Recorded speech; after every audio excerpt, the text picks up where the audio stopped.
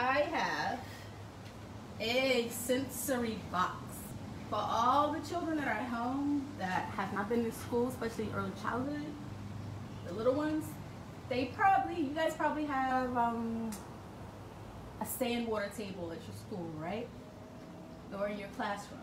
Well, parents, you guys can make one of these at home, and all you need is a box. And what I've done is went out and collected a bunch of stuff from outside off the ground.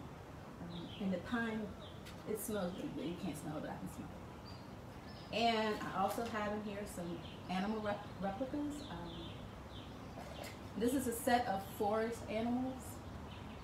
There's also some insects in here and some snakes. And I also have the snake resting on a rock because that is common for you to see a snake sunbathing on a rock. So just take a look at this box. And nothing was bought.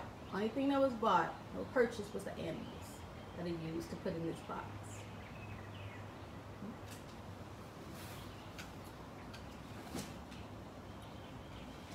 Another resource with this story are these puppets. You can use these puppets to make the story come alive. There's a possum, here is a skunk, and a raccoon. And these are the folk puppets, which is cited in the document that is attached to the blog post about this story time. And there's some animal track cards. Uh, if you guys are go, if you're gonna go outside or you're gonna go for a nature walk, here's an easy, very, very easy animal track guide that you can put in your pocket to identify some animal tracks or animal footprints.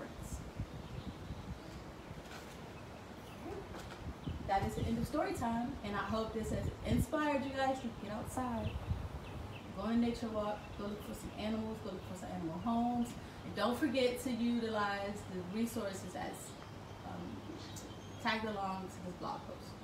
And have a great day.